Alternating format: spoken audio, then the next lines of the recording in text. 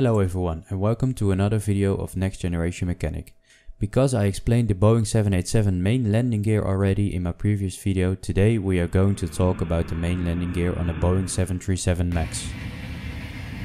Here we have an overall view of the main landing gear.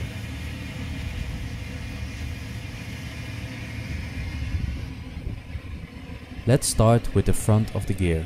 This is the shimmy damper. If we move down we see an electrical harness and the brake assemblies. If we move up a bit we see the two junction boxes on the front of the gear. This is where all the electrical connections are bundled into one harness to the landing gear components computers. If we look up from the left side of the gear you see the retract actuator and the attachment fitting. If we look to the right we see the side strut and the reaction link with the down lock mechanism.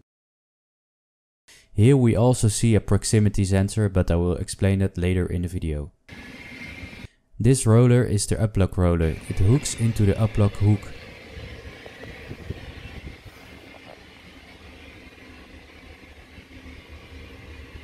Let's look at the gear swing cycle after a gear replacement with all the panels removed.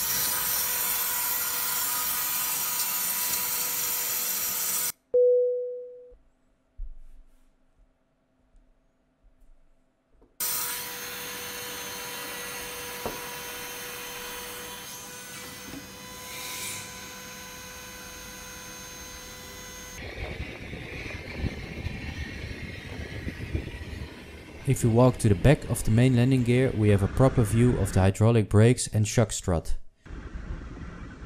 This is the fixed main landing gear door. As you may have noticed, 737 doesn't have retractable landing gear doors. That's why there's a hubcap installed on the outer wheels of the main landing gear to optimize aerodynamics.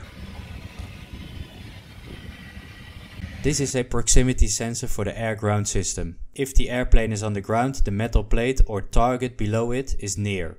This means that the target is in front of the sensor. If the target is far, the target is not near the sensor anymore and this means the airplane is in the air. This is how the airplane knows that it is on the ground or in the air. On the main landing gear there are more proximity sensors. This one is from the down lock mechanism. Here the same logic applies. If the gear is down and locked, the target is near the sensor. If we look to the uplock hook, you also see the proximity switches and targets.